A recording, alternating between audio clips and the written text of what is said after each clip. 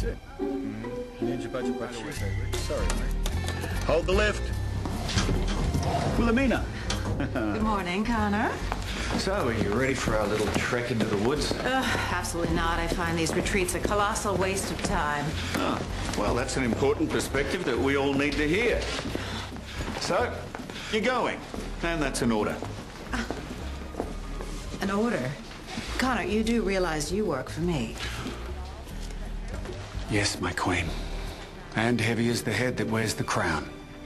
Still, it's the price of leadership. I'll see you there, boss.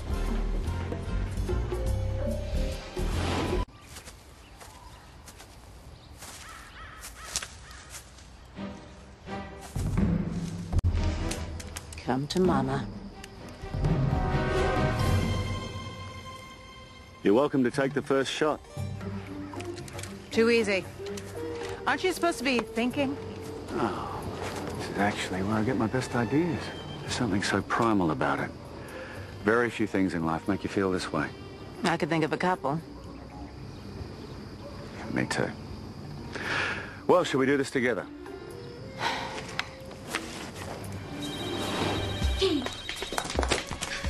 Ugh. Hilda, I can't really talk right now. I'm trying to get a hold of Daniel, and I'm in the middle of a work crisis. Sounds like a big one. Eight pointer, maybe.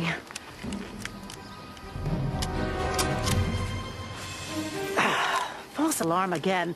Would it be too much to ask for something with antlers? What is it? It's a Daniel and some cripply wood nymph.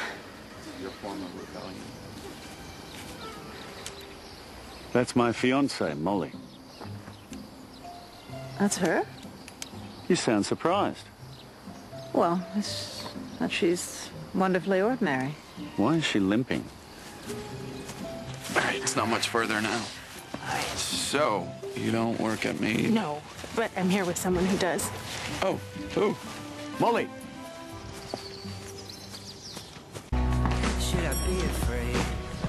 Connor, now that Daniel is gone and given everything away, we need to strategize. I'm afraid it's going to be a late night. Uh, well, that's not going to be a problem for you, is it? No. I had dinner plans, but I can reschedule. Good. We're very lucky to have you on board.